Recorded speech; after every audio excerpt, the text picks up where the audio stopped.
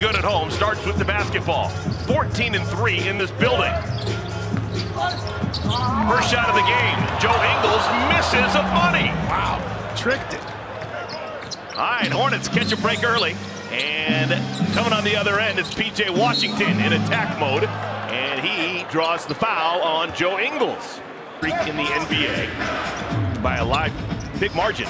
And I'll tell you this, he, he doesn't have the best body, so that means he's taking care of himself in the offseason and, and in between games. Can't pull fat. no one's been on the disabled list with pulled fat. All right, still scoreless. Hornets turn it over.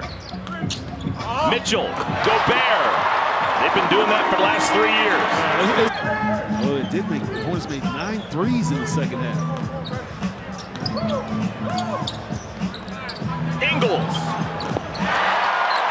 Change for Utah. Emmanuel Mudiay comes into the game. Mudiay replacing Donovan Mitchell. That's now three dunks for Rudy Gobert. It's right on the season average. Dwayne Bacon. May have known that Gobert was lurking. Here's Emmanuel Mudiay with a touch back out to Ingles. Third block for Gobert. Twice he has been the defensive player of the year in the NBA. Hornets want to run. Marvin runs down the pass and is fouled by Mudiay. Here.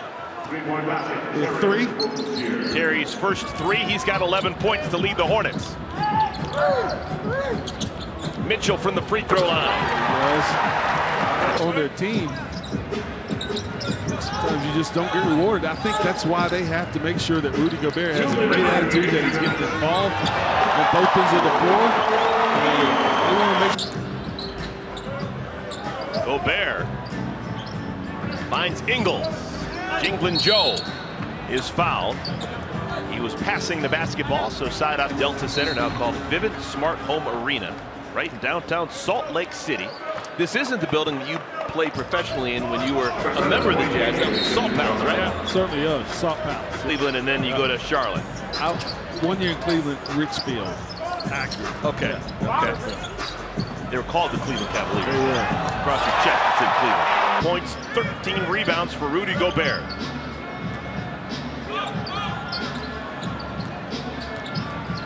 Ingles.